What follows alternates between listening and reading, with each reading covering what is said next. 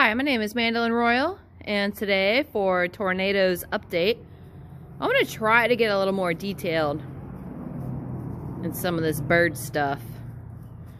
So we have Tornado here in position one. We have the middle favorite from that last critique I did between the three boys. But I also pulled out one of my old ladies. She's two and a half years old. And believe it or not, she's pretty comparable to these boys. But I'm going to try to point out some stuff about each of these and how they might complement each other in a breeding situation. But first, the numbers. So Tornado, he's at 17 weeks old now. He was at even 7 pounds for a 6 ounce, six ounce gain over top of the 6 pounds 10 ounces that he had last week. The visiting male that we're using today, he's at 20 weeks old. He weighed 6 pounds 3 ounces. And the visiting old lady, she weighed 6 pounds 15 ounces. So she's heavier than the middle male and about the same weight as Tornado. Each of these birds have differences between them and there's some similarities. And we're going to break that down and talk about the good and the bad and how things might go.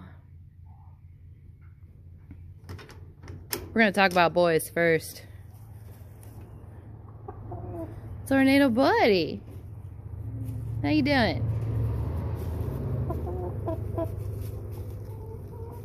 So he's the big guy with the growth rate I've not encountered before but something in the breeding clan I used presented it. And now I have a couple of up and coming birds with it. He's just the first. And what's contributing to that is his overall carcass size.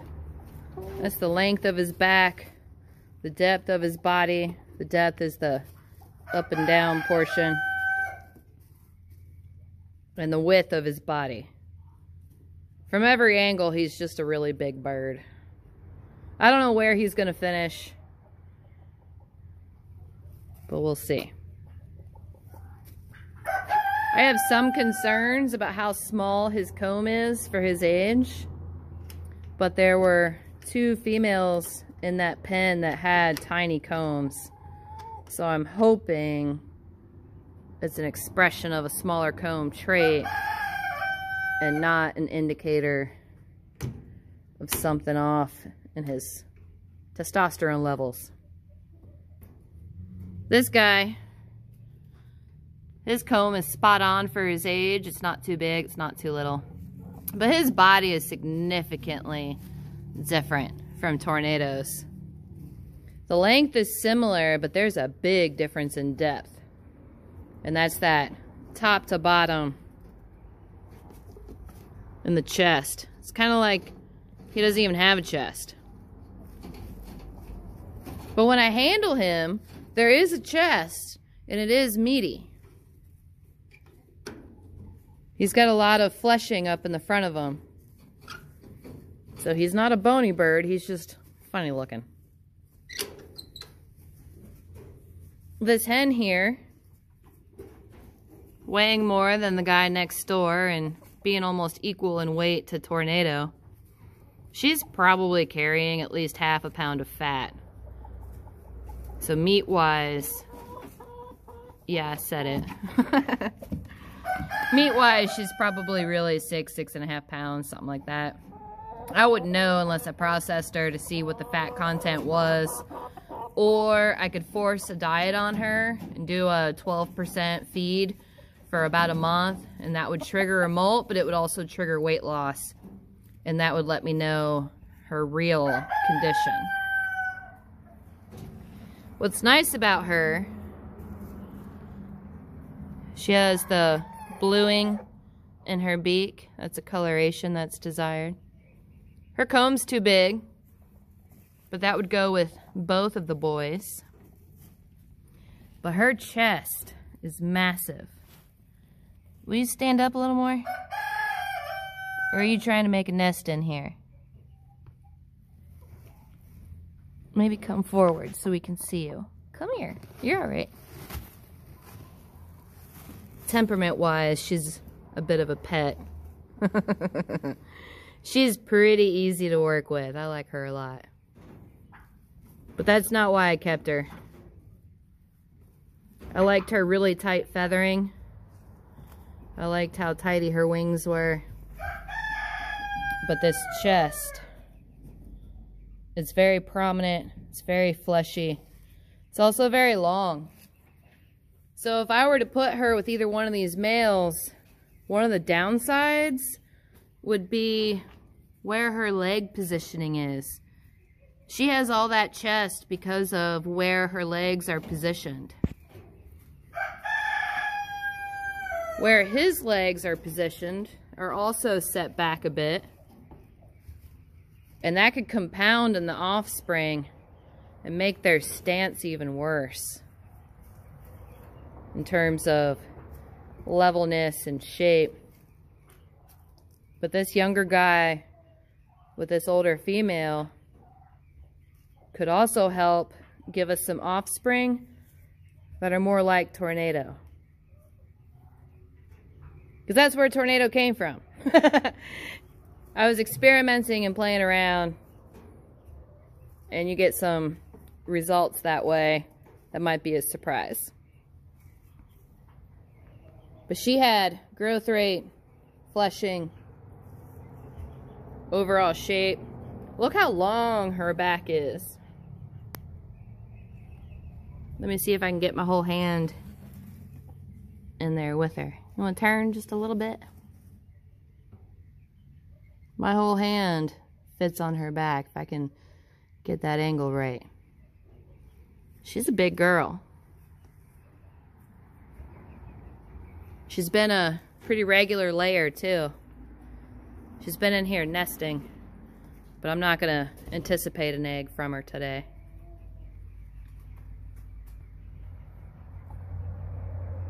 But you can kind of see in here where her leg is. Well, if she would cooperate just a little more.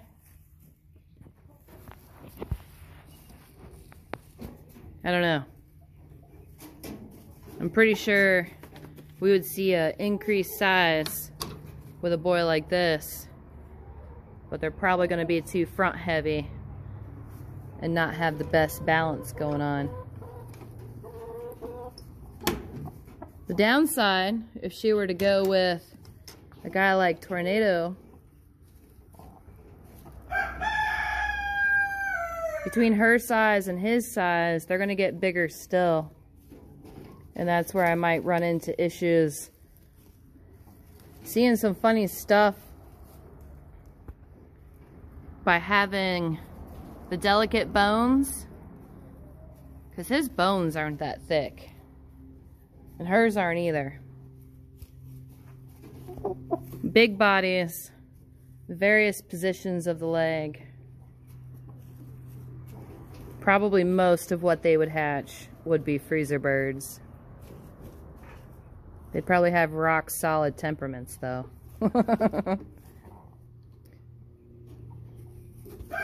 Tornado still doesn't have the big open tail that I like to see. And hers isn't as wide as it could be. So we might see some more closed in tails in that sort of pairing. But this guy has a big wide tail in terms of the spread of it. So we might see some pretty good tails out of that mix.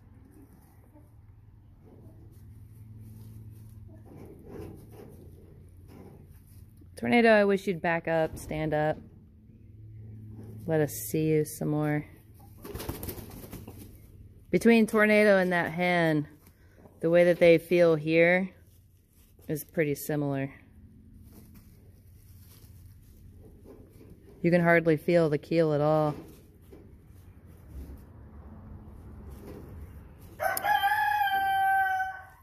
But he doesn't have that bluing in the beak that she has. So in a perfect world, we would see that in the offspring. She could do a lot to darken the leg color on both of these guys. They both have blue feet, but they're not that dark. She's also pretty short in the leg. Don't holler. You didn't even lay an egg. You're pretending.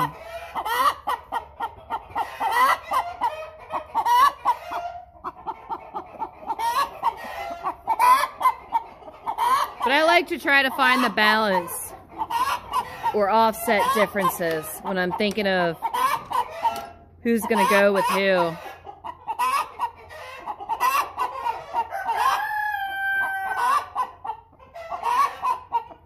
Sometimes he stands like he's almost too wide. But I think a girl like this would complement that. Help bring it in line. I don't know if I'm going to be able to talk over these birds. She's going to set off the whole barn, so I'm going to go ahead and cut this off. But that's just some food for thought. But these two boys, they're so different from each other.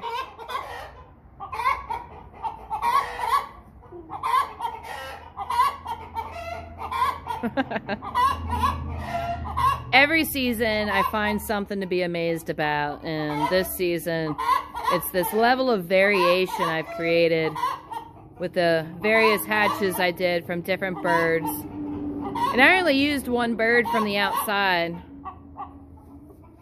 And it was interesting to see the spread of genetics and what influence that one bird had over my assortment of hens.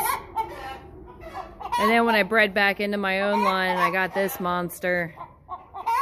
And the other one's coming up. It's going to make next year really exciting.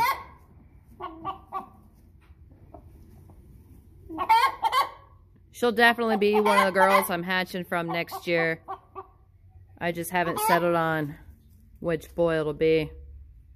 If I give 30 days for her to clear out um, genetic donations from a particular male, then I can certainly put her with a different male and try a different arrangement just to see if I get a better result, the same result, different result.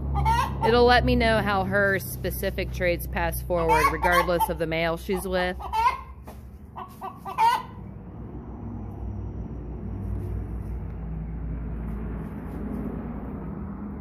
This is how I spend my winter.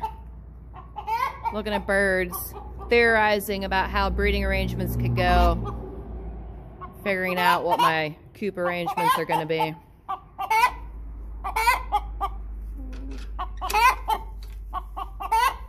But it's really neat to see this seven pound bird minus one ounce and her being a female. And this seven pound monster. Yeah we're talking about you But them being about the same weight, they're still pretty different from each other.